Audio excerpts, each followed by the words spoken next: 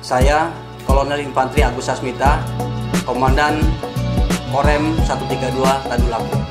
Sensus penduduk online sudah resmi dibuka mulai tanggal 15 Februari hingga 31 Maret 2020. Saya instruksikan kepada seluruh anggota Korem dan jajaran di antaranya Kodim, Balak Aju Korem, Batalion 714 dan jajaran Korem se-Sulawesi Tengah untuk melakukan pengisian sensus penduduk secara online seperti yang sudah saya lakukan. Cukup menggunakan nik dan nomor kakak serta akte nikah dan akte perceraian bagi yang memiliki.